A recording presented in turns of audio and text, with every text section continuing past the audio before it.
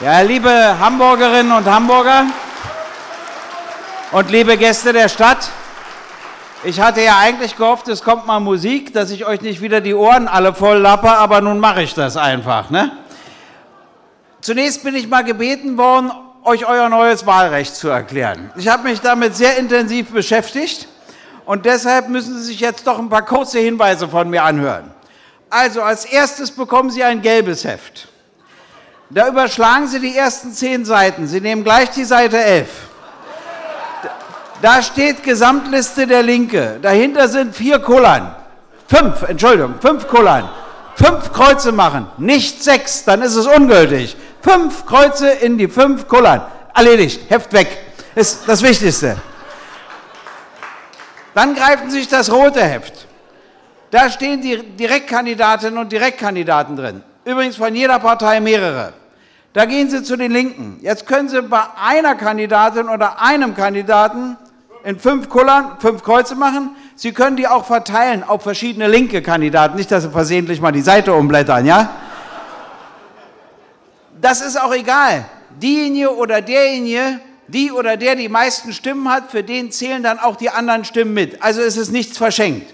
Wichtig zu wissen. Aber das gelbe Heft ist wichtiger als das rote, klar, ne? Also das erste. Dann kommt das grüne Heft. Da geht es um Ihren Bezirk. Geht es wieder um die Liste. Bis zur linken aufschlagen, fünf Kreuze hintereinander, erledigt, Heft kann weg. Dann kommt das blaue Heft.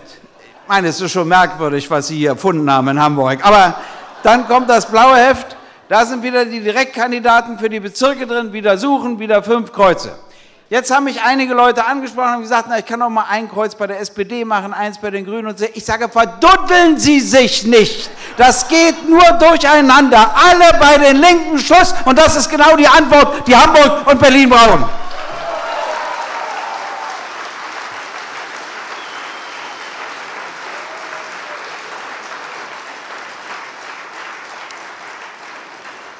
Ich habe mich jetzt mal etwas intensiver mit Hamburg beschäftigt. Also Sie haben hier zehn Hamburger, das sind die zehn reichsten Hamburger. Ich weiß nicht, ob eine Hamburgerin dabei ist. Ich glaube, es sind zehn Hamburger.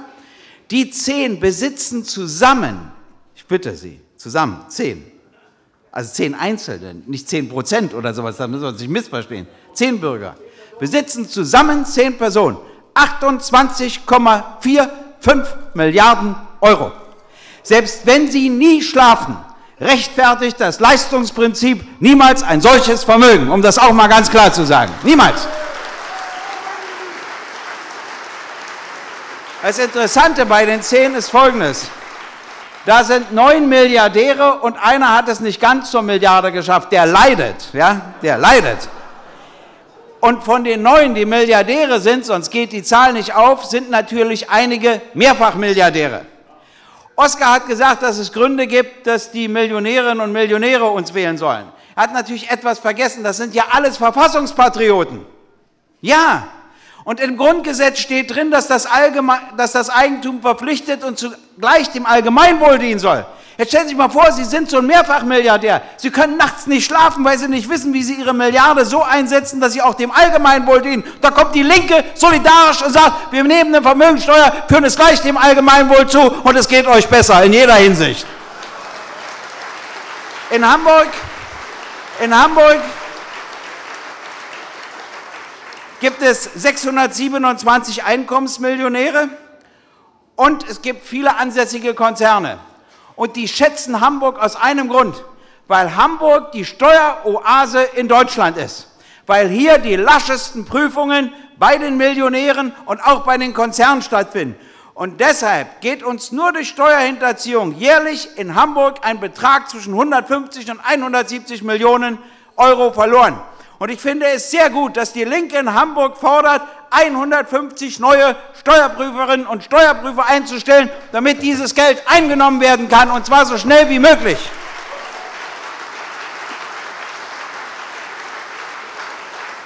Und wenn wir nur die alte Vermögenssteuer wieder einführten, hätte Hamburg eine jährliche Mehreinnahme von 2 Milliarden Euro. Dann wäre die Diskussion, ob man das Museum in Altenau schließt oder den Theatern weniger Geld gibt oder weniger Erzieherinnen beschäftigt und weniger Lehrerinnen und Lehrer, endlich beendet. Wer soziale Gerechtigkeit will, muss Steuergerechtigkeit fordern. Anders geht es nicht. Auch in Hamburg nicht.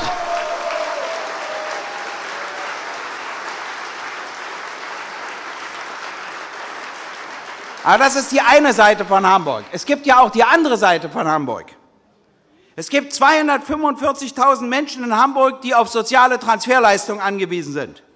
Darunter sind 37.000 Aufstockerinnen und Aufstocker. Nur damit wir uns im Klaren sind, viele davon sind Vollzeit beschäftigt. Und obwohl sie den ganzen Tag eine gute Arbeit leisten, bekommen sie einen so geringen Lohn, dass sie anschließend zum Jobcenter geschickt werden muss. Und Frau Merkel findet das gut.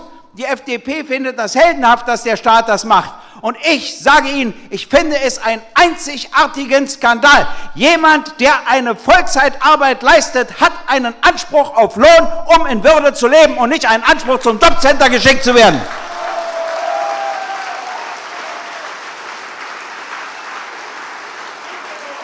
Jedes, jedes vierte Kind in Hamburg ist arm.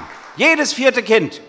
Und ich sage Ihnen, Union, SPD, FDP und Grünen sind sich in vielen zentralen Fragen viel zu ähnlich. Wer einen Politikwechsel will, der muss die Linke wählen. Anders kommt kein Politikwechsel zustande. Weder hier noch sonst wo in Deutschland.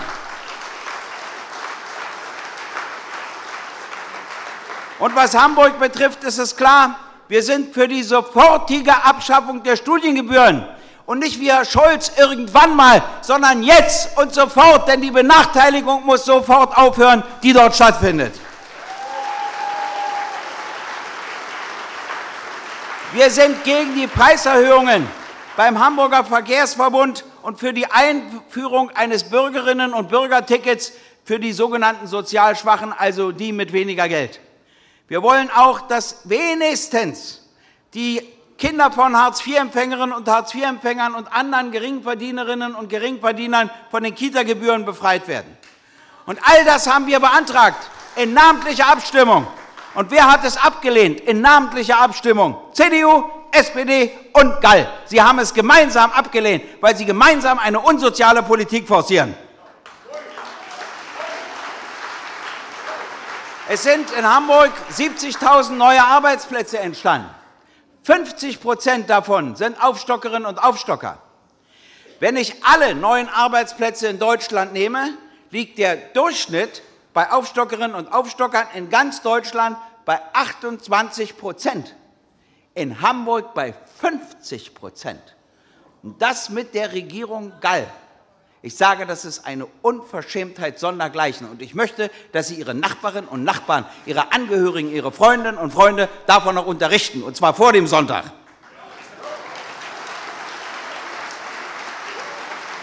Seit 2003, kann ich die Zahl erweitern, gibt es in Hamburg 100.000 neue Arbeitsplätze. 78 davon sind Minijobs, Teilzeitarbeit oder Leiharbeit.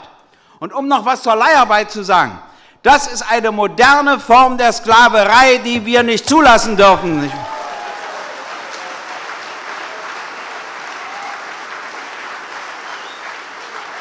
Und da könnten wir doch zum Beispiel die französische Regel einführen. Ist doch interessant. Wenn ich jetzt Unternehmer wäre und ich habe einen Elektromeister beschäftigt und der wird krank, kann ich ja tatsächlich in die Situation kommen, dass ich sage, ich brauche irgendeinen Ersatz.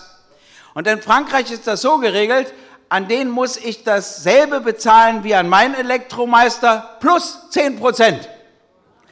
Und dadurch ist klar, wird das zur absoluten Ausnahme. Und wir sagen, es reicht, wenn der zwei Drittel bekommt.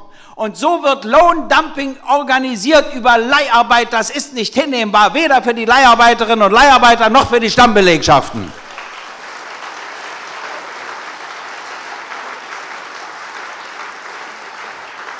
Und der von Herrn Scholz geplante Wirtschaftssenator Horch findet das alles klasse.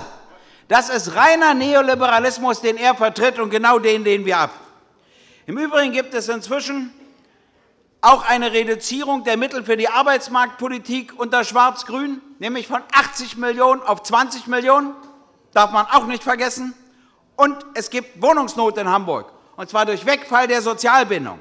Und 1551 neue Sozialwohnungen nutzen nichts, wenn Tausende und Abertausende die Sozialbindung verlieren, wie wir es gegenwärtig gerade erleben. Deshalb sind wir auch für die Förderung der Wohnungsbaukreditanstalt, für die Verdopplung der Mittel. Ich sage Ihnen, Berlin ist eine schwierige Stadt, das weiß ich. Hamburg ist in einem Punkt noch schwieriger. Und zwar, weil sie sozial tiefer gespalten sind.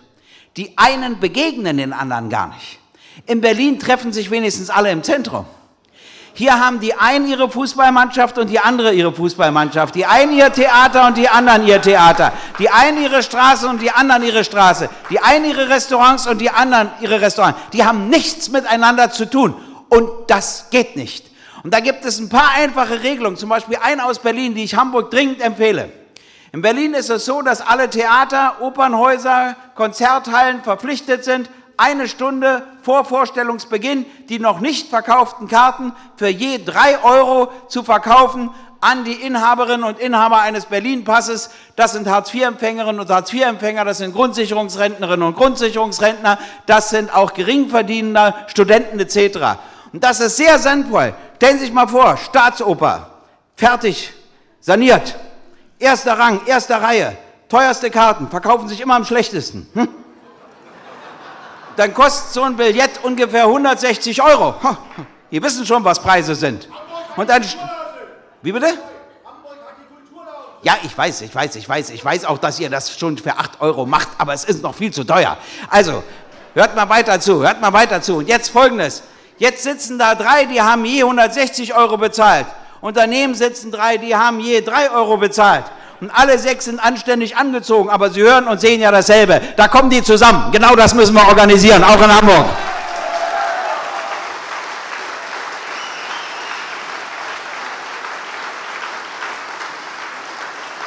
Die SPD hat Jahrzehnte in Hamburg regiert. Jetzt hatten wir eine kurze schwarze Phase, dazu will ich gar nichts weiter sagen. Aber die SPD hat noch gar nicht genügend gelernt aus ihrer Niederlage und schon gar nicht auf der Bundesebene. Und deshalb sage ich allen Hamburgerinnen und Hamburgern, und zwar hier sind, sind hier Sozialdemokraten und Sozialdemokraten, also die sechs, die hier sind, denen möchte ich Folgendes sagen. Wenn ihr wollt, dass eure SPD wieder sozialdemokratisch wird, gibt es nur einen Weg, ihr müsst die Linke wählen. Das ist das Einzige. Das Einzige, woraus die lernen. Und dass sie zu ihren Wurzeln zurückkehren. Aber hier in Hamburg wird ja nicht nur ein Zeichen gesetzt für Hamburg, sondern auch für Berlin. Die Bundespolitik, jedes Bundesland sitzt auch im Bundesrat und spielt dabei eine Rolle. Ich sage mal nichts dazu, dass die Grünen auch zur Unzeit ausgetreten sind, also noch gar nicht wussten, wie die Abstimmung zu Hartz IV läuft. Zu Hartz IV komme ich noch. Aber ich sage was ganz anderes. Wir erleben doch eine veränderte Welt. In vielen arabischen Staaten stehen die Menschen auf und sagen, sie wollen Demokratie. Jahrelang ist uns eingeredet worden, Araber kennen keine Demokratie und wollen keine. Ein schwerer Irrtum. Sie wollen ihre Diktaturen loswerden. Und unsere Regierung hat alle Diktaturen unterstützt. Ägypten hat für 77 Millionen Euro Waffen bekommen. Vielleicht hätten wir das Geld anders investieren sollen, kann ich nur sagen.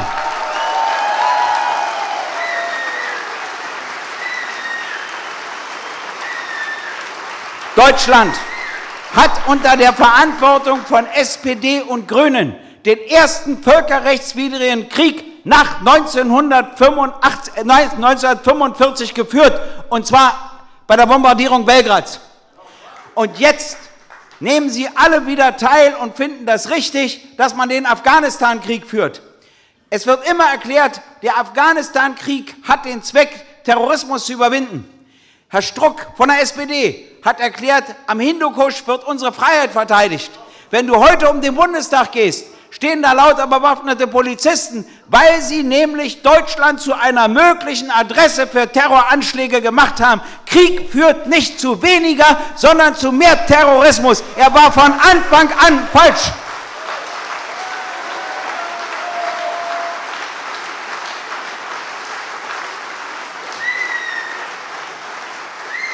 Aber nun wurde mir immer erklärt, dass es ja um lauter edle soziale Ziele geht in Afghanistan. Und jetzt muss ich Sie kurz mit ein paar Zahlen langweilen. Aber es ist letztlich spannend hinzuhören. Was hat sich seit den neun Jahren in Afghanistan verändert? Und die Zahlen, die ich Ihnen jetzt nenne, kommen von der UNO, nicht von einer linken Organisation. Und die UNO sagt, die Armut beträgt nicht mehr 33 Prozent der Bevölkerung, sondern 42 Prozent der Bevölkerung. Das ist die Veränderung seit neun Jahren Krieg. Die Zunahme der Unterernährung ist von 30 Prozent der Bevölkerung auf 39 Prozent angestiegen. Der Rückgang des Zugangs zu sanitären Einrichtungen geht von 12 Prozent auf 5,2 Prozent. 5,2 Prozent der Menschen haben noch Zugang zu sanitären Einrichtungen. Damit wir uns mal vorstellen, was das bedeutet. Der Anstieg der Zahl der Menschen, die in Slums leben, geht von 2,4 auf 4,5 Millionen. Die Jugendarbeitslosigkeit in Afghanistan ist gestiegen von 26 auf 47 Prozent. Und die Warlords, diese Obergangster, diese Rauschgifthändler, die haben nicht mehr 131.000, sondern 193.000 Hektar, Hektar Mohnfelder, um Rauschgift anzubauen. Das ist das Ergebnis des Krieges. Fragen Sie doch mal die CDU, die SPD, die FDP, auch die Grünen. Was wollt ihr denn dort? Sollen sich die Zahlen noch weiter verschlechtern? Das Deutsche Institut für Wirtschaftsforschung hat errechnet, hat, dass uns der Krieg insgesamt bisher 25 Milliarden Euro gekostet hat. Wenn wir nur die Hälfte davon zum zivilen Aufbau in Afghanistan eingesetzt hätten, dieses Land sähe ganz anders aus. Der Krieg war, ist und bleibt falsch. Und wir sind die einzige Partei, die konsequent dagegen steht.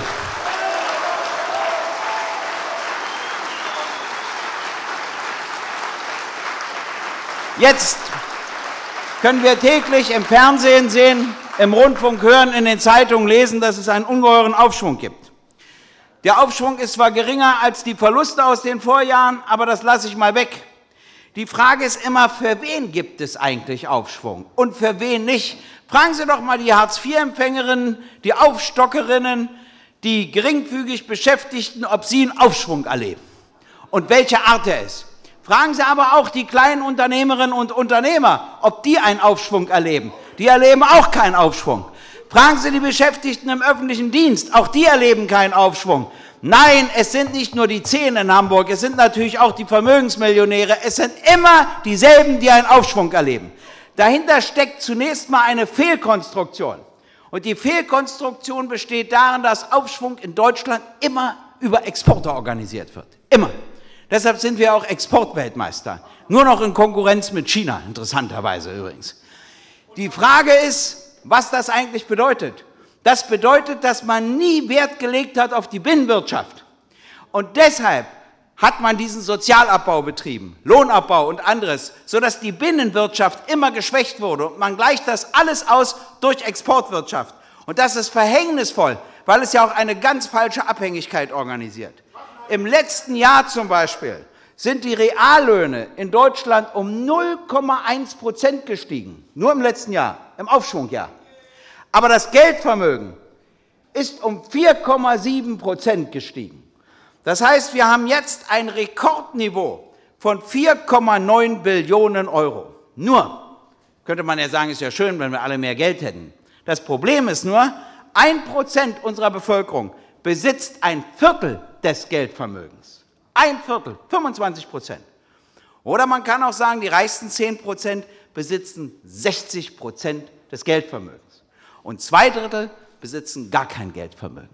Das ist die grob ungerechte Verteilung. Ich gebe zu, ja, ich bin ein Umverteiler und ich will auch einer sein. Und wenn die CDU sagt, sie ist die Partei des Eigentums, dann sagt sie, sie sorgt dafür, dass der Bettler Eigentümer seiner Krücke bleibt und der Milliardär Eigentümer seiner Milliarde. Und ich will etwas umverteilen und ich finde das wesentlich gerechter.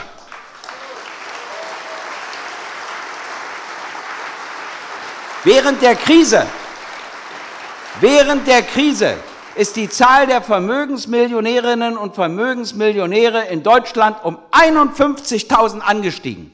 Wir haben jetzt 861.000 während der Krise, als alle dachten, es geht bergab. Nein, mit den anderen ging es bergab, aber nicht mit den Vermögensmillionärinnen und Vermögensmillionären. Und wenn wir einen Zehn-Jahres-Vergleich machen, dann muss ich Ihnen sagen, dass das auch interessant ist, denn die Einkommen aus Unternehmertätigkeit und Vermögen sind in den letzten zehn Jahren um 60 Prozent gestiegen und die Realeinkommen sind um 4,5 Prozent gesunken. Die einzige kapitalistische Industriegesellschaft, in der die Realeinkünfte gesunken sind. Nicht in den USA, nicht in Großbritannien, nicht in Frankreich, nicht in Finnland, nicht in Skandinavien. Nur in Deutschland sind die Reallöhne gesunken. Nur zum Vergleich. In Spanien sind sie um 7,5 Prozent gestiegen, in Frankreich um 8,6 Prozent, in Großbritannien um 14 Prozent, in Finnland um 22 Prozent, in Norwegen um 25 Prozent. In Deutschland ein Minus von 4,5 Prozent. Um nur das ganz klar mal zu sagen, also leider viele Unternehmerinnen und Unternehmer der Binnenwirtschaft wählen ja so komisch.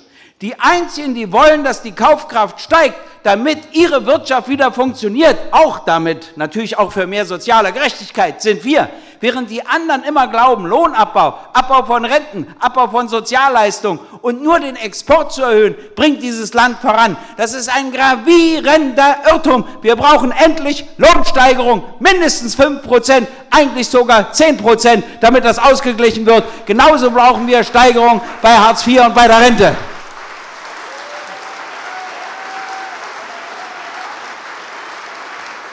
Und um bei den zehn Jahren zu bleiben, in den letzten zehn Jahren hat die Armut um ein Drittel zugenommen. Es sind nicht mehr 11 Prozent der Bevölkerung, sondern 14 Prozent. Und die letzten zehn Jahre heißt immer sowohl unter Schröder als auch unter Merkel. Und ich sage Ihnen, was mich an Schröder am meisten gestört hat. Er kommt aus den denkbar ärmsten Verhältnissen und hat es geschafft, Anwalt zu werden, Parteivorsitzender zu werden, Kanzler zu werden. Und er hat in seiner Zeit als Kanzler nichts, aber auch gar nichts dafür getan, dass jemand aus adäquaten heutigen Verhältnissen nochmal eine solche Chance bekam. Und ich finde, das kann man ihm nicht durchgehen lassen. Und das darf man ihm auch nicht durchgehen lassen.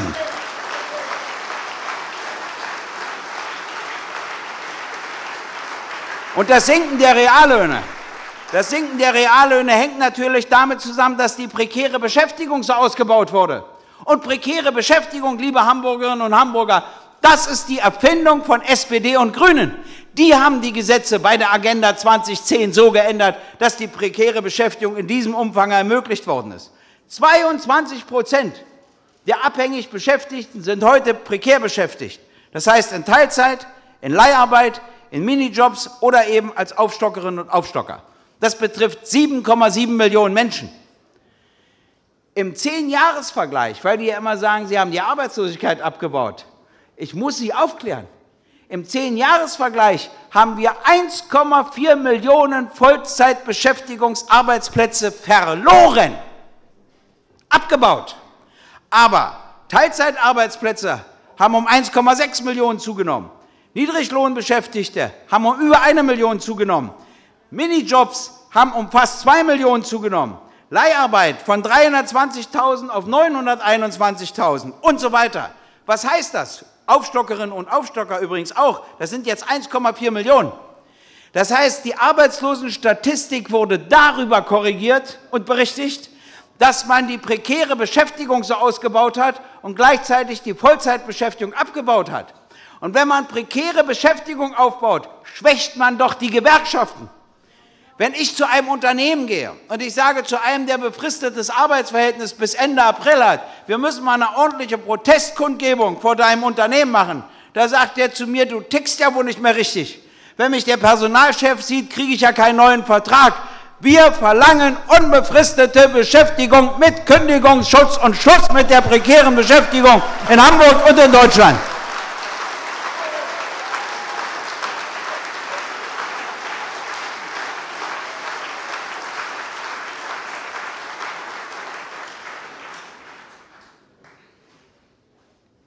Wir haben jetzt ein Problem in Deutschland dazu bekommen, das in dieser rechtlichen Form einmalig ist. Das bezieht sich auf Hartz IV. Ich muss das mal erklären, das hatten wir noch nie. Es gibt ja folgendes Problem. Also eine Hartz-IV-Bezieherin oder ein Hartz-IV-Bezieher haben nach dem Grundgesetz Artikel 1, Artikel 2 einen Rechtsanspruch auf eine Versorgung. Erstmal. Dafür gab es ein Gesetz, das Bundesverfassungsgericht hat gesagt, dieses Gesetz ist grundgesetzwidrig. Und dann hat es gesagt, es gilt aber noch bis zum 31.12.2010 und danach nicht mehr. Bis dahin ist ein neues Gesetz zu schaffen. Nun sind wir im Februar 2011 und haben kein neues Gesetz. Das heißt, das alte gilt nicht mehr und ein neues gibt es nicht. Das heißt, die Leute haben einen Rechtsanspruch und es gibt kein Gesetz, das das regelt. Nun hören die nicht auf mit der Bezahlung, das wäre ja auch der Gipfel. Trotzdem ist es spannend, auf welcher Rechtsgrundlage das Jobcenter eigentlich zahlt. Die haben gar keine mehr. Nur auf Weisung des Ministeriums. Und deshalb unterstützen wir jetzt ein Pilotverfahren. Ich sage Ihnen, es ist indiskutabel, indiskutabel, dass die Politik nicht in der Lage ist, einen Auftrag zu erfüllen, den das Bundesverfassungsgericht ganz klar erteilt hat. Die Union und die FDP haben Schuld, weil sie einen widergrundgesetzwidrigen Gesetzentwurf eingebracht haben, und zwar erst im Oktober. Und die SPD und die Grünen haben Schuld, weil sie mit denen verhandeln. Und jetzt sage ich Ihnen ganz genau, worum es geht. Die einigen sich. Das dauert keine halbe Stunde. Wissen Sie, was das Problem ist? Die wissen nicht, ob die Einigung ihnen bei der Wahl in Hamburg schadet. Deshalb warten sie die Wahl in Hamburg ab. Und jetzt wissen sie etwas Zweites nicht. Sie wissen als Zweites nicht, ob es für die Wahlen in Rheinland-Pfalz und Baden-Württemberg, für Sachsen-Anhalt interessieren sich leider nicht so sehr, also in Baden-Württemberg und Rheinland-Pfalz auch schadet. Entweder Sie sind der Meinung, es schadet Ihnen nicht, dann einigen Sie sich. Und wenn Sie meinen, es könnte Ihnen schaden, dann einigen Sie sich auch danach nicht. Jetzt haben drei Ministerpräsidenten zusammengesessen, haben gesagt, die Union ist bereit, den Hartz-IV-Empfängerinnen und Hartz-IV-Empfängern 5 Euro zu geben. Dann haben sie festgestellt, die SPD ist 3 Euro wert. Das macht dann zusammen 8 Euro. Jetzt sagen Union und FDP kommt überhaupt nicht in die Tüte. Und zwar sagen die das deshalb, weil sie befürchten, dass diejenigen, die Union und FDP wählen, ihnen das übel nehmen. So einfach läuft das Ganze. Sagen Sie mal, es geht um über sechs Millionen Menschen die in einer schweren Existenzkrise stecken. Das ist doch abenteuerlich, was auf dieser Strecke läuft. Und grundgesetzwidrig schließen Sie die Linke von allen Beratungen aus, weil Sie keine Kritik hören wollen und weil Sie nicht wollen, dass wir hören, was Sie für Nebendeals abschließen. Das ist alles, was dahinter steckt. Und das müssen Sie bekämpfen. Dagegen müssen Sie sich empören durch die Wahl der Linken.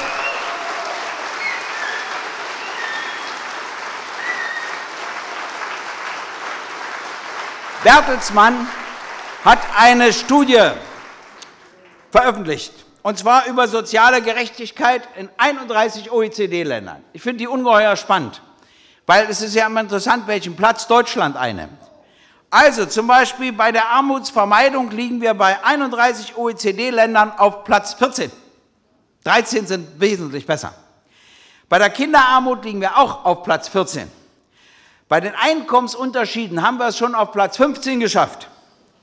Bei den Ausgaben für frühkindliche Bildung, übrigens auch ein Problem in Hamburg, ich habe mir solche Einrichtungen gestern angeschaut, liegen wir auf Platz 16.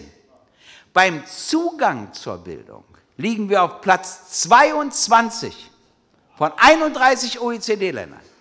Heute ist es so, dass Kinder von Arbeitnehmerinnen und Arbeitnehmern in den USA leichter studieren können als in Deutschland. Das war mal umgekehrt. Das haben wir geschafft. Mit Schröder und Fischer und mit Merkel und Steinmeier und Westerwelle. Ja, ihr könnt noch alle Namen aufzählen. Ich kann jetzt nicht alle Politikerinnen und Politiker von SPD und Grünen nennen, das hört einfach zu weit. Aber es ist ja wahr. Aber jetzt kommt's. Bei der Bekämpfung der Langzeitarbeitslosigkeit liegen wir auf Platz 30. Es gibt ein Land, das schlechter ist als wir, das ist die Slowakei. Alle anderen Länder sind diesbezüglich besser. Das hat mit Hartz IV zu tun. Das hat mit all diesen Regelungen zu tun. Und deshalb sage ich, das Ganze ist für mich ein einzigartiger Skandal. Und dann komme ich mal zur Bankenkrise und zur Staatsschuldenkrise. Ich will jetzt mal nur ein Beispiel nennen, weil ich kann ja nicht so ewig Ihre Zeit hier in Anspruch nehmen, obwohl ich das gerne tue. Na gut, dann wird es eben ewig, bitte.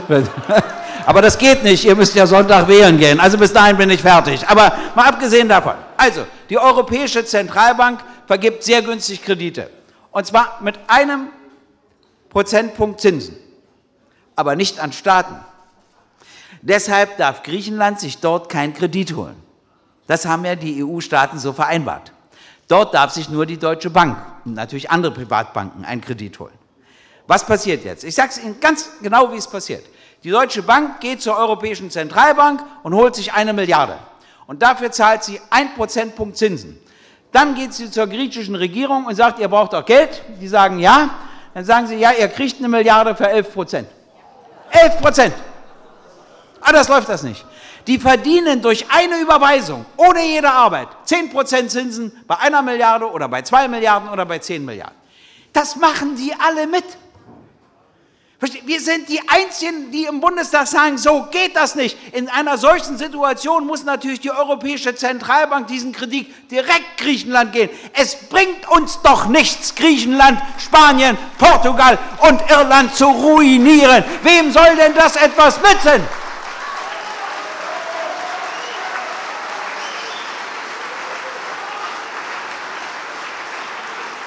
Was sie dort machen, ist die Politik von Versailles. Versailles hat nach dem Ersten Weltkrieg Deutschland natürlich tief gedemütigt und eingeschränkt. Und das Ergebnis war keine starke Linke, sondern das Ergebnis war, dass die NSDAP den Nationalismus ins Unermessliche steigern konnte. Gerade von Deutschland ist eine Politik nach dem Muster Versailles völlig indiskutabel. So können wir Griechenland, Irland, Spanien und Portugal nicht behandeln. Wir müssen einen anderen Weg gehen. Und zwar, ich meine, ich muss mal sagen, die Konservativen, die sind auch immer noch unlogisch. Die wollen ja den Export fordern. Aber wenn sie das schaffen, was sie vorhaben, dass die die Renten senken, die Löhne senken, die Investitionen senken, ja, dann können sie ja weniger exportieren. Also es fällt selbst in diesem Sinne zurück. Aber die Konservativen sind leider nie logisch, das stelle ich ja auch bei der Bildung fest. Ja, na, ich, ich muss, also bei der Bildung. Meine, die Konservativen haben drei Thesen. Ich, verstehen Sie, auch eine konservative Politik, die ich nicht meine, es muss doch in sich logisch sein. Ihre erste These lautet, die Deutschen sterben aus. Sie behaupten, sie hätten zu wenig Kinder. Auch die Union weiß, dass sie es wahrscheinlich die meisten von ihnen nicht handwerklich verlernt haben, also muss es ja andere Gründe geben. Aber darüber machen Sie sich keine Gedanken. Das Zweite ist, dass sie sagen, wir brauchen einen höchst flexiblen Arbeitsmarkt. Also der Hamburger Ingenieur und die Hamburger Lehrerin, wenn sie dann in Bayern gebraucht werden, müssen sie eben umziehen. Und wenn sie dann wieder in MacPom gebraucht werden, müssen sie wieder umziehen. Und wenn sie in Thüringen gebraucht werden, müssen sie auch wieder umziehen. Also immer höchst flexibel, immer so mit, wo gerade ein Job ist. Also jetzt nehme ich beide Thesen zusammen dann hätten die drei Kinder, ne, um eine erweiterte Reproduktion der Bevölkerung zu ermöglichen. Also drei Kinder und dann reisen sie immer durch die verschiedenen Länder. Und dann sagen dieselben Konservativen, wir wollen aber 16 verschiedene Schulsysteme in Deutschland haben, weil wir 16 Bundesländer haben. Das heißt, sie sagen, diese Eltern müssen sich ja völlig verantwortungslos gegenüber ihren Kindern bewegen. Das ist abenteuerlicher Unsinn. Das ist 19. Jahrhundert. Das gehört in die Zeit der Postkutschen. Wir brauchen ein Top-Bildungssystem von Mecklenburg-Vorpommern bis Bayern, sodass Kinder überall die gleichen Bildungschancen haben.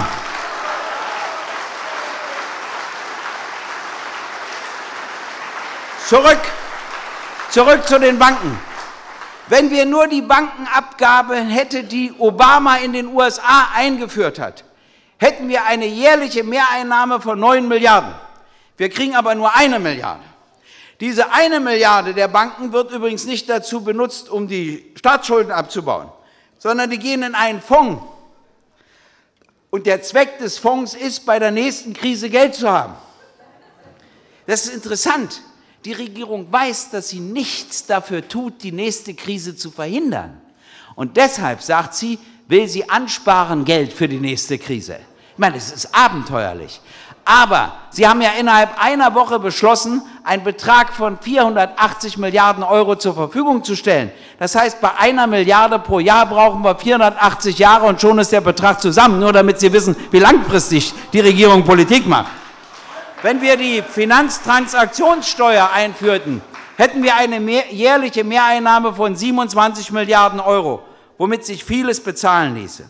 Ich will noch ein Beispiel nennen, warum wir so komische Forderungen gestellt haben bei den Banken. Die haben ja die Hypo Real Estate verstaatlicht. Ich meine, es ist auch selten, dass die CDU-Regierung eine Bank verstaatlicht. Aber warum? Die stand ja kurz vor der Insolvenz. Und da haben sie gesagt, wir müssen die Bank retten. Gut. Jetzt gehört uns allen die Bank. Ich weiß gar nicht, ob Sie das verstanden haben. Ihnen allen gehört die Hypo Real Estate. Jetzt gibt es folgendes Problemchen. Zum Beispiel hat die Deutsche Bank gegen die Hypo Real Estate eine Forderung in Höhe von 10 Milliarden Euro. die dürfen Sie jetzt bezahlen. Ist ja jetzt unsere Bank. Die hat ja kein Geld mehr. Also wir bezahlen jetzt 10 Milliarden an die Deutsche Bank. Das haben wir schon gemacht.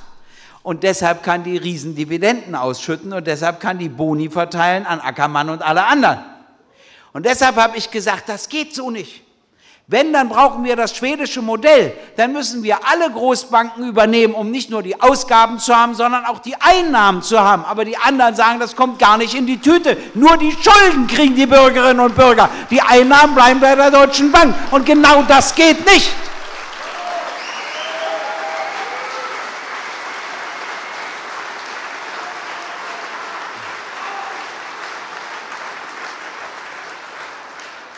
Ja, erleben jetzt weltweite Spekulationen. Die hören ja nicht auf. Die nehmen ja zu. Auf Öl, auf Kupfer, auf Rohstoffe und jetzt auf, auch auf Nahrungsmittel. Die Nahrungsmittel sind weltweit um 25 Prozent teurer geworden. Das müssen Sie sich mal vorstellen, was das in der sogenannten dritten Welt bedeutet. Man muss sich mal vorstellen, was das in Afrika bedeutet was das aber auch in bestimmten asiatischen oder lateinamerikanischen Ländern bedeutet. Und dann machen die sich eine Birne, wie sie eine Art neuer Mauer im Mittelmeer konstruieren, damit keine Flüchtlinge kommen. Nein, wir brauchen einen anderen Welthandel, wir brauchen eine andere Kulturförderung, damit die Tunesierinnen und Tunesier sich in Tunesien endlich wohlfühlen können. Das ist die Voraussetzung, die wir endlich erfüllen müssen.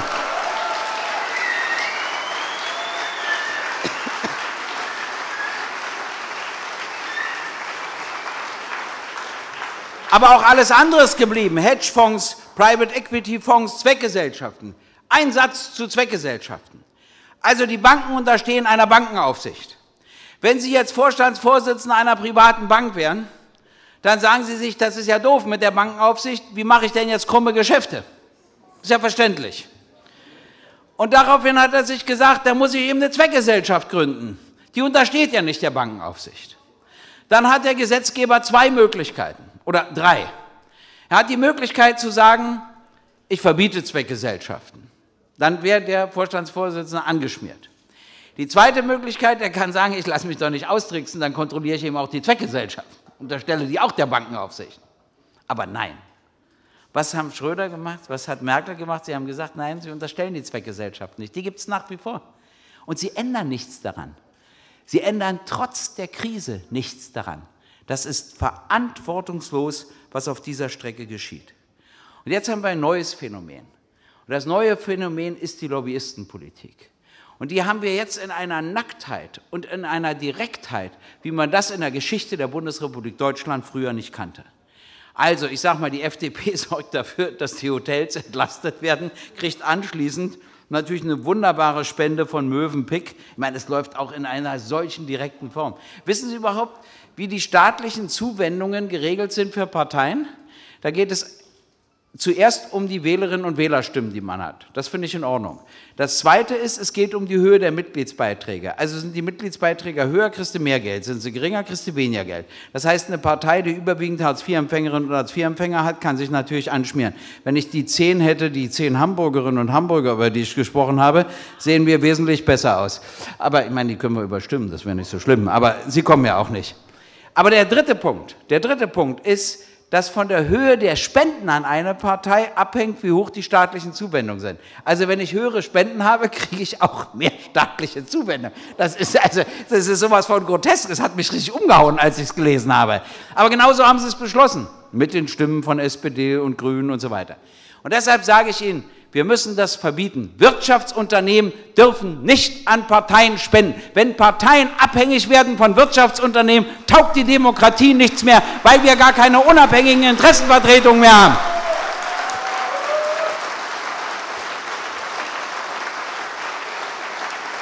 Und so läuft das. Also, die Stromkonzerne wollten eine Verlängerung der AKW-Laufzeiten, zack, beschlossen. Und zwar, da nehmen die in Kauf, einen großen gesellschaftlichen Konflikt wieder auszulösen. Ist ihnen egal. Hauptsache, die verdienen ordentlich Geld dran. Dann wollten sie aber von den Energiekonzernen dafür eine Steuer haben. Sie haben gesagt, wenn ihr jetzt so viel Geschenk kriegt, müsst ihr was abgeben.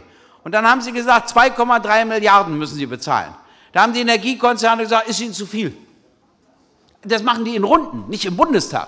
Da sitzen die zusammen. Na gut, haben sie gesagt, dann nur 1,5 Milliarden. So läuft das. Der Bundestag wird degradiert, der hat das ja nachher nur noch abzunehmen. Dann gab es einen Geheimvertrag, der dann zum Glück durch Journalisten rausgekommen ist. Dann gab es die Pharmaindustrie. Die Pharmaindustrie und die privaten Krankenversicherungen haben bestimmt, wie die Gesundheitsreform aussieht. Und sie entspricht exakt ihren Interessen. Alles in Lobbyismus geregelt. Und jetzt sage ich Ihnen ein paar Personen, nur ein paar Personen. Also der Bundesminister Rösler hat Christian Weber eingestellt. Das ist ein Vertreter der privaten Krankenversicherung. Er ist der Leiter der Grundsatzabteilung seines Ministeriums geworden. Äh, Verbraucherschutzministerin Frau Eigner hat zum neuen parlamentarischen Staatssekretär Herrn Peter Bläser bestellt. Der war unter anderem Chef des Aufsichtsrates der Reifeisenwarenzentrale Rhein-Main, das heißt einem Futtermittelproduzenten, nur damit das klar ist. Robert Norbert Röttgen bestellte Gerald Hennenhöfer zum Leiter der Abteilung Reaktorsicherheit, der bis 2004 als Generalbevollmächtigter der RWE arbeitete. Peter Ramsauer beschäftigt Klaus-Dieter Scheuerle als Staatssekretär im Verkehrsministerium. Scheuerle war früher Manager der Schweizer Bank Credit Suisse und Lobbyist für die Bahnprivatisierung.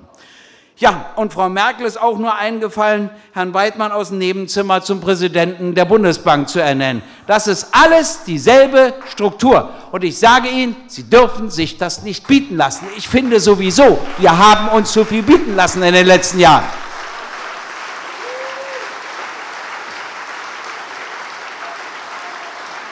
Aber nun gibt es auch eine Änderung. Ich will ja hier nicht nur pessimistisch sein, ich will ja auch optimistisch sein. Die Änderung haben die Schwaben herbeigeführt. Und zwar mit ihrer Bewegung gegen Stuttgart 21. Ich will es auch begründen. Wie sind wir Deutschen? Wir sind ja keine Französinnen und Franzosen. Ich meine, die können ja protestieren. Na gut, da können wir noch einiges lernen. Aber gut, wir sind anders gestrickt.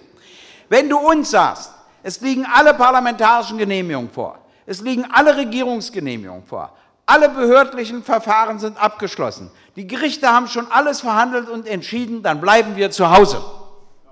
Dann gibt es 100, die kommen zur Jena-Demo, die kenne ich persönlich, die schätze ich auch alle, aber das ist dann noch alles, was passiert.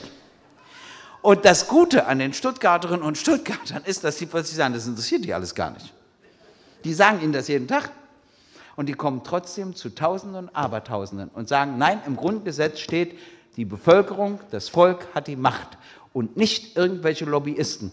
Und deshalb lassen wir eins nicht zu, dass Sie und alle anderen jeden Tag erfahren, es ist kein Geld da, um die Toilette in der Schule zu reparieren. Es ist kein Geld da, um die Kindertagesstätte zu renovieren. Es ist undenkbar, zusätzlich Erzieherinnen und Erzieher einzustellen. Es ist auch nicht möglich, mehr Lehrerinnen und Lehrer zu beschäftigen. Das Schauspielhaus muss sehen, wie es mit weniger Geld hinkommt. Dem Museum drohen wir die Schließung an. Aber natürlich haben wir über 20 Milliarden für einen unterirdischen Bahnhof. Natürlich haben wir über 450 Milliarden für die Banken. Natürlich haben wir zur Rettung des Euro alles Geld dieser Welt. Das akzeptieren die Leute nicht mehr. Und das ist auch nicht mehr zu akzeptieren. Und genau darum geht es auch bei der Wahl am Sonntag.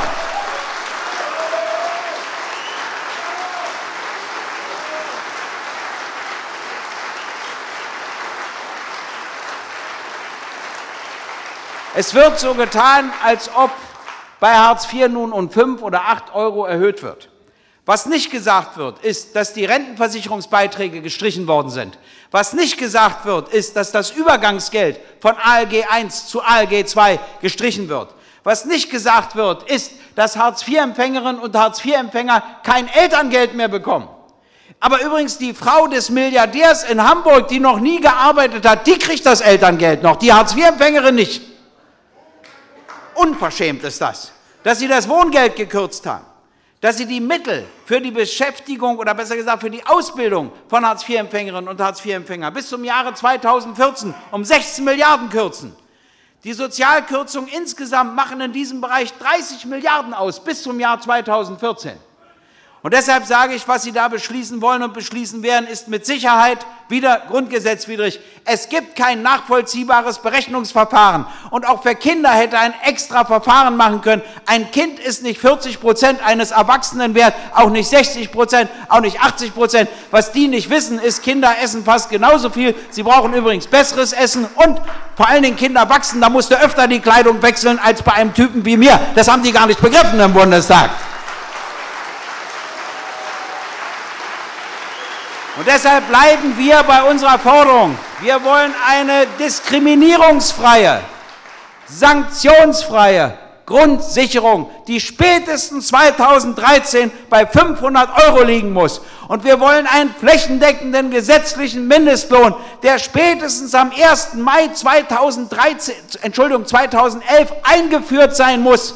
Denn da haben wir die Freizügigkeit der Arbeitnehmerinnen und Arbeitnehmer aus Polen, aus Rumänien, aus Bulgarien etc. Und ich möchte nicht, dass die hier in Wohnwagen gefärscht werden und zu miesesten Löhnen arbeiten, weil es erlaubt ist. Deshalb brauchen wir spätestens am 1. Mai 2011 einen flächendeckenden gesetzlichen Mindestlohn.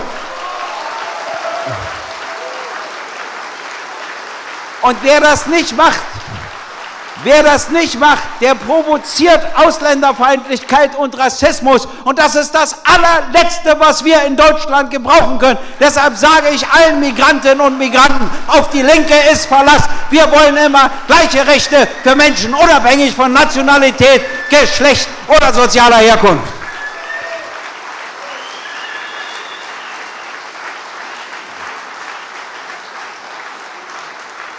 Die Gesundheitsreform ist abenteuerlich.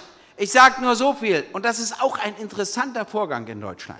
Es gibt bestimmte Prozesse, die trauen sich Union und FDP niemals einzuleiten. Trauen die sich nicht.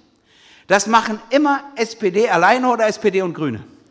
Ich werde es Ihnen beweisen. Der Kohl wollte jahrelang den Spitzensteuersatz der Einkommensteuer von 53 Prozent senken. Als er aus dem Amt schied, lag der immer noch bei 53 Prozent. Er hatte dazu nicht die Kraft. Schröder, Schröder hat dann den Spitzensteuersatz von 53 auf 42 Prozent gesenkt. Das Ende der paritätischen Finanzierung zwischen Arbeitnehmerinnen und Arbeitnehmern und Unternehmen in der Gesundheitsreform ist ein, das hätten sich Union und FDP nie getraut. Das ist eingeleitet worden von der SPD indem Sie gesagt haben, 0,9 Prozent Zusatzbeitrag nur für Arbeitnehmerinnen und Arbeitnehmer. Und dasselbe haben wir erlebt bei der Rentenversicherung mit der Riester-Rente. Auch das war ja das Ende der paritätischen Finanzierung. Und das Interessante ist, die SPD macht dann die Tür so einen Spalt auf und sagt, hier ein sozialer Block, da ein sozialer Block, ist ja nur ein Spalt. Aber dann ist der Prozess eingeleitet. Und dann kommen Union und FDP und machen die Tür ganz auf. Also sie machen nie den Beginn. Den Beginn macht immer die SPD. Und das müssen und dürfen wir ihr übel nehmen. Und deshalb sage ich, wenn es kein starkes linkes Korrektiv gibt, wird auch die SPD unter Scholz wieder völlig neoliberal regieren in Hamburg und genauso im Bund. Deshalb ist es so wichtig, die Linke zu stärken. Nur das bringt die anderen zur Vernunft.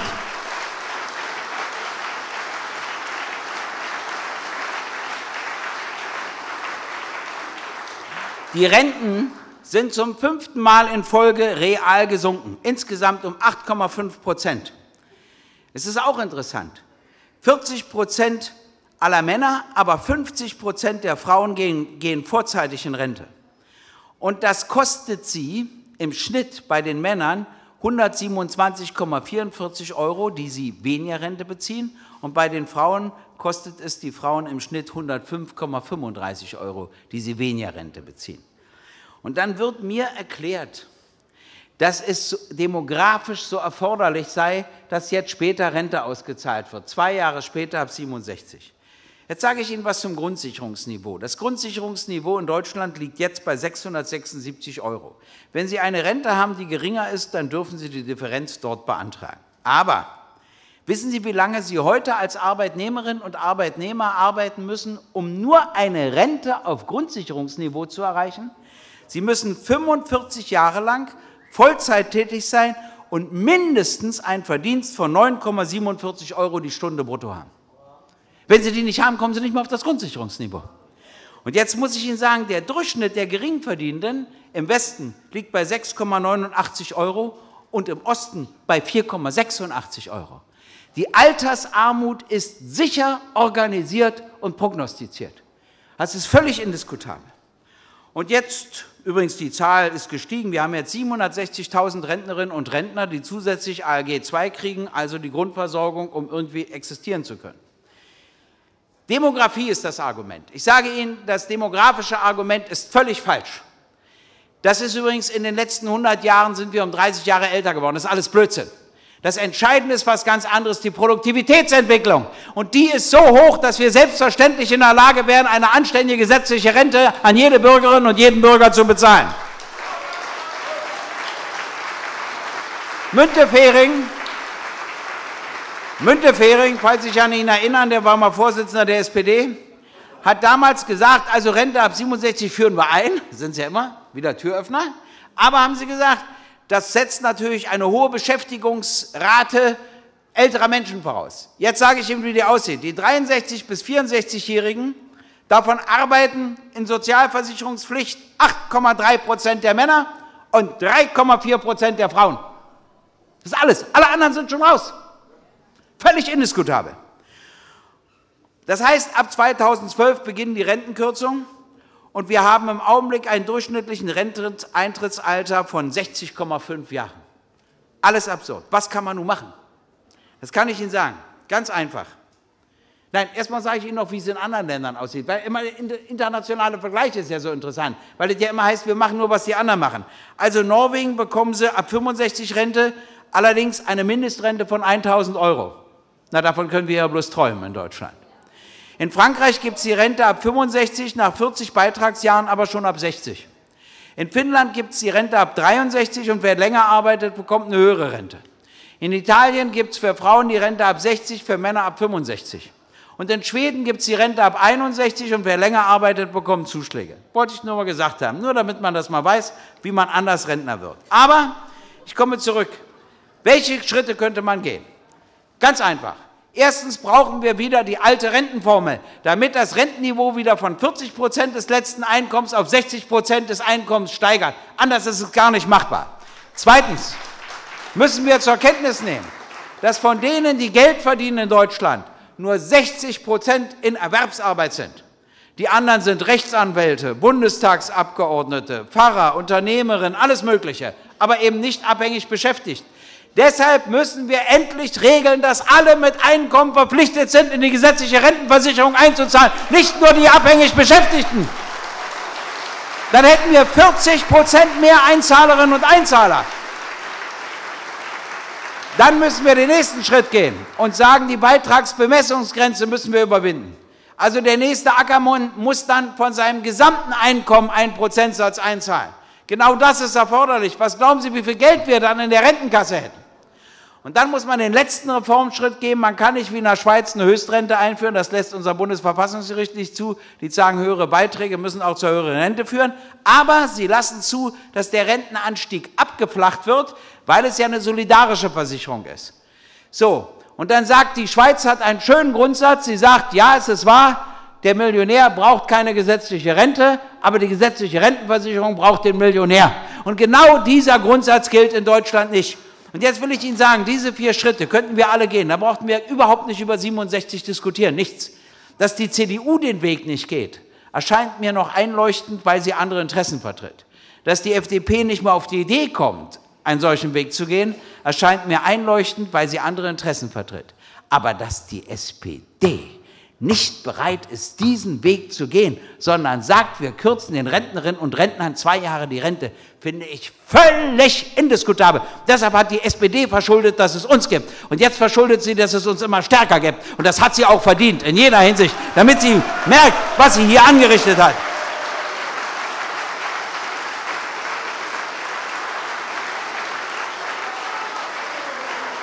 Ich habe Ihnen gesagt, Soziale Gerechtigkeit gibt es nur mit Steuergerechtigkeit.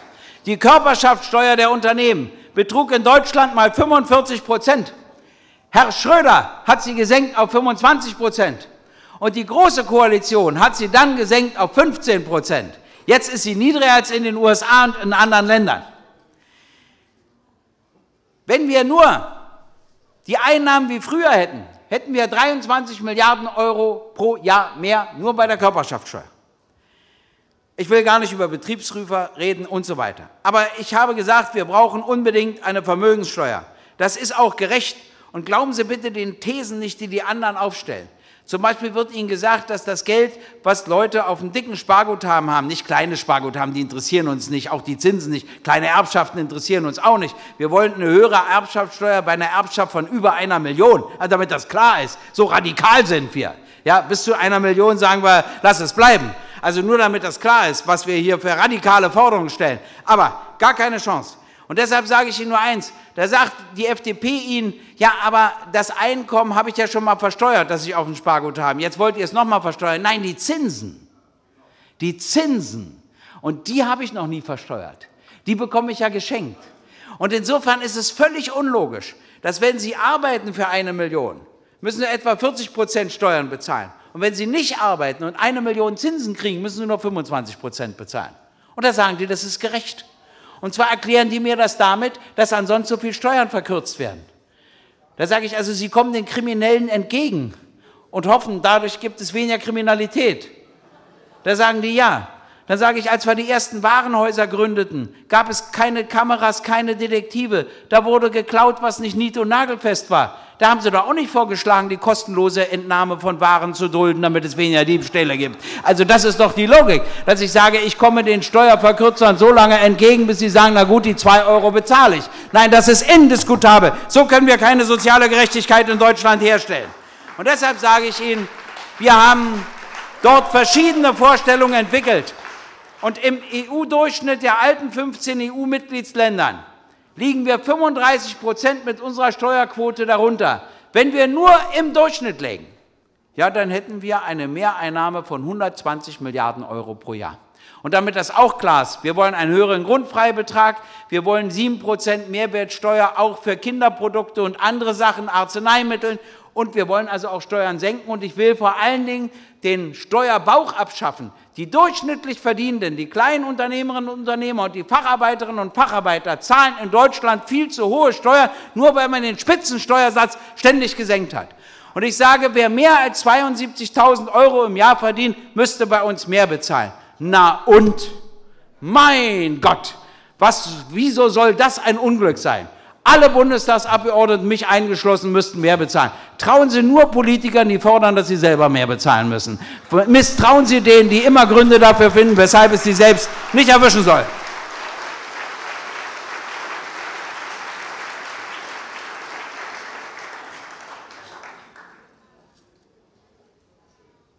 Ich habe vorhin über Bildung gesprochen.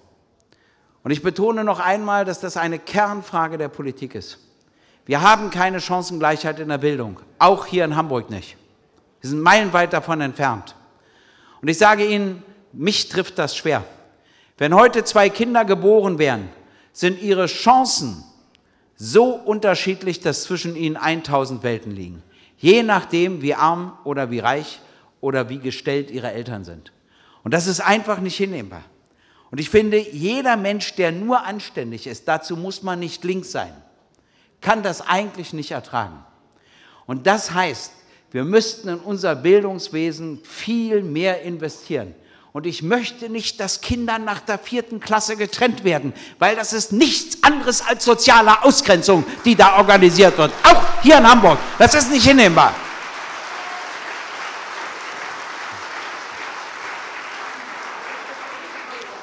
Über die Studiengebühren habe ich schon gesprochen.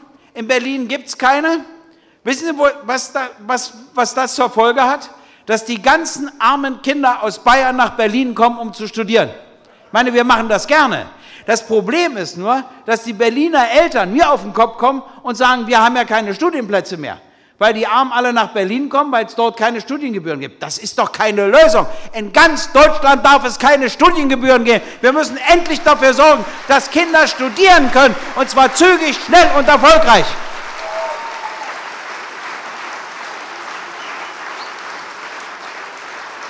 Wir haben in Berlin ein paar vernünftige Sachen. Eine Sache empfehle ich auch Hamburg, das ist ein öffentlich geförderter Beschäftigungssektor. Tariflöhne müssen gezahlt werden. Ich möchte lieber statt Hartz IV einen Tariflohn bezahlen. Und da gibt es Wege. Auf die kann ich jetzt nicht im Einzelnen eingehen, aber ich bin sicher, dass da unsere Fraktion auch noch aktiv werden wird. Ich habe schon über Migrantinnen und Migranten gesprochen. Und ich sage Ihnen eins. Diese Wahl in Hamburg hat eine dreifache Bedeutung. Erstens ist es der Start bei insgesamt sieben Landtagswahlen. Und natürlich möchte ich einen guten Start haben, weil das unsere Mitglieder motiviert. In Sachsen-Anhalt, in Rheinland-Pfalz, in Baden-Württemberg, in Bremen und Bremerhaven, in Mecklenburg-Vorpommern und in Berlin. Aber das ist nur das eine, das gebe ich ja zu, ist für die Hamburgerinnen und Hamburger nur ein begrenztes Motiv. Aber immerhin. Das zweite ist, wir brauchen ein soziales Korrektiv und einen sozialen Motor und auch einen friedenspolitischen Motor in Hamburg. Verhindern Sie, dass Scholz durchdreht. Verhindern Sie, dass die SPD wieder in reinen Neoliberalismus verhält. Sorgen Sie dafür, dass es eine gestärkte Linke gibt. Ich sage Ihnen, genau das verstehen die. Und dann korrigieren die sich auch. Genau diesen Weg müssen wir gehen. Für Hamburg. Und senden Sie ein Signal nach Berlin. Senden Sie ein Signal nach Berlin. Sagen Sie mit Ihren Stimmen, Ihren 20 Stimmen für die Linken, ohne Ausnahme, nicht 19, 20 Stimmen für die Linken, sagen Sie mit Ihren 20 Stimmen, ja, wir sind gegen den Afghanistan-Krieg, wir wollen, dass ihn beendet wird. Es gibt nur eine Wahl, die das zum Ausdruck bringt, das ist die Wahl der Linken. Sagen Sie, wir sind für mehr Demokratie, auch endlich mal für Wirtschaftsdemokratie. Es gibt nur eine Wahl, die das zum Ausdruck bringt, das ist die Wahl der Linken. Sagen Sie, wir wollen mehr soziale Gerechtigkeit, wir wollen keine prekäre Beschäftigung. Es gibt nur eine Stimme, die das zum Ausdruck bringt, das ist die Wahl der Linken. Es kann ja sein, wir begehen hier und da auch einen Fehler. Ich bestreite das gar nicht. Die anderen erst recht. Aber was entscheidend ist, ist, welches Signal sende ich denn an Frau Merkel? Eine Stimme weniger für die Linken als beim letzten Mal, dann denkt die, es gibt eine Stimme mehr für den Krieg für soziale Ungerechtigkeit, für weniger Demokratie. Das kann nicht die Antwort aus Hamburg sein. Es gibt nur eine sinnvolle Antwort und die heißt, wir wählen die Linke verstärkt, weil alle anderen Parteien sind untereinander so verbandelt, dass denen das relativ wurscht ist, ob die SPD drei Prozent mehr bekommt und die Union zwei Prozent weniger. Nur die Stimmen für die Linken ärgern alle anderen Parteien. Und ich habe das Gefühl, und die Überzeugung, dass sie es verdient haben, sich zu ärgern. Und deshalb bitte ich Sie um Ihre Stimmen für die Linken. Dankeschön.